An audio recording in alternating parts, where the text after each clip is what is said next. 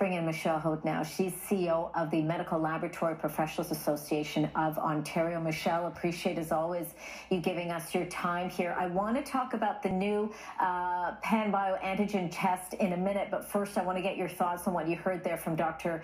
Uh, Anna Banerji, ask, you know, talking about the consistency in testing that we haven't seen, not just in Ontario, but we're getting that sense across the country here. Talk to me about the importance of having that. It's not something I guess we can necessarily control. There isn't, and she's absolutely right. There's so many factors that go into that number. So we have talked in great length about there are still many labs across the country that are working on getting instruments. There are many labs looking at increasing the number of tests in their lab. Um, we still are looking at reagent backups. There's so many issues. So seeing the numbers go up and down, especially in Ontario, I think our average is at about 59,000 we've seen. Mm-hmm. That we know we can expect. We're going to expect days where the numbers are a bit lower, and we should see days where we hit 70,000. And we've seen that happen. Do you think that we're doing enough overall, enough testing? I think that uh, our core issue is our shortage of people. So, mm-hmm. our medical lab technologists is a problem here in the province, but also across the entire country from coast to coast to coast. We don't have enough of them. Um, if we were all fully staffed, could we be doing double? Potentially, but mm. we're doing the best we can right now in our labs. Talk to me about now this Panbio antigen test, which is, we know it's being pushed uh, uh, across the province in Ontario. Explain to us, if you can, how it works. And of course, we've got to bring in those variants and factor those in as well. So, actually, some exciting news with that test. So, Abbott, um, I just actually attended a session on this.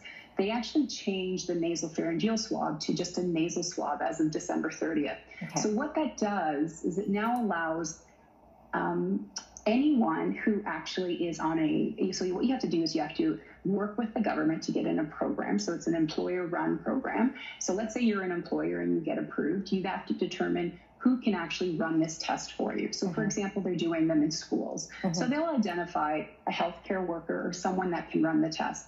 They're really tiny. They're actually the size of um, almost like a band-aid.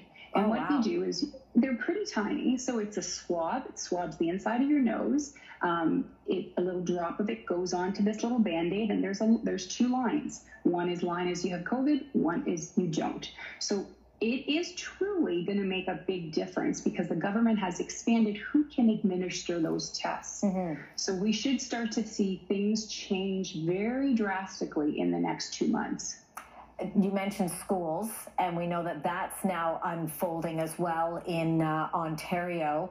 Um, what do you think that is going to give us in terms of a more realistic picture of COVID 19? Um, in the province that's happening in Ontario, but we know that now again there's a talk about testing in schools across the country.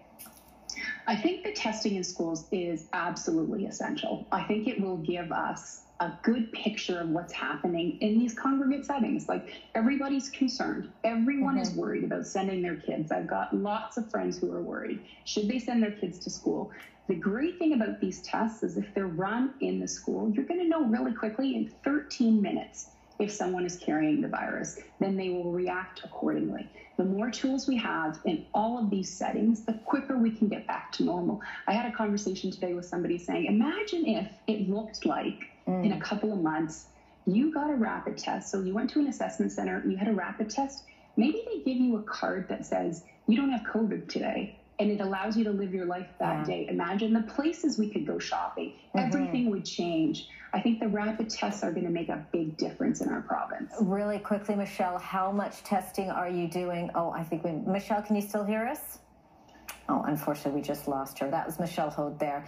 Um, she is the CEO of Medical Laboratory Professionals Association of Ontario. Just heard her talking there about rapid testing and how that really could change the dynamic of how we're going to be able to do things in our daily lives as we continue to do what we can today to combat COVID 19. So it was great chatting with her. Unfortunately, we lost her there. All right, turning